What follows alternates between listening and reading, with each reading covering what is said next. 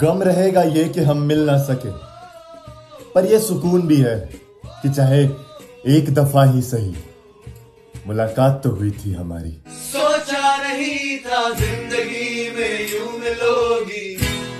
मिलके भी तुम ना मेरी हो सकोगी।